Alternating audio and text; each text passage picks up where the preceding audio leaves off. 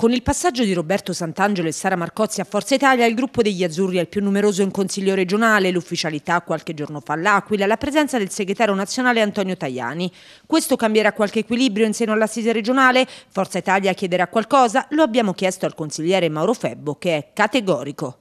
Forza Italia inoltre ha sia il Presidente del Consiglio Lorenzo Sospiri che il Vice Sant'Angelo. Se si chiederà un passo indietro, i forzisti saranno disposti a farlo?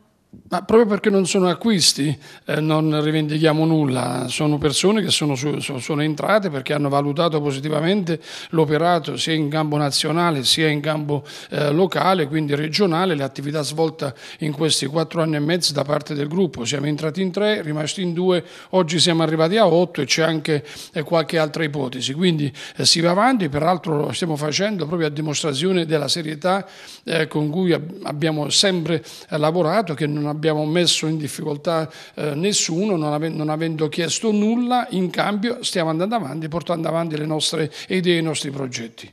Ecco, avete sia la Presidenza del Consiglio che la Vicepresidenza, se vi dovessero chiedere di fare un passo indietro potrebbe cambiare qualche equilibrio? Ma sicuramente a nostro favore, per cui credo che nessuno ci chiederà nulla e tantomeno noi abbiamo chiesto nulla. La, la serietà vuole questo, eh, dobbiamo confrontarci con eh, gli elettori, abbiamo lavorato, noi riteniamo bene in questi quattro anni e mezzo, facendo tante cose che negli altri governi regionali non sono state fatte, puntiamo alla riconferma, sarebbe la prima volta in 50 anni eh, di Regione Abruzzo, lo si fa senza chiedere nulla in cambio, senza il famoso eh, poltronificio. Ecco perché apprezzo molto accolto l'ingresso di questi nuovi eh, colleghi che non hanno chiesto assolutamente nulla in cambio.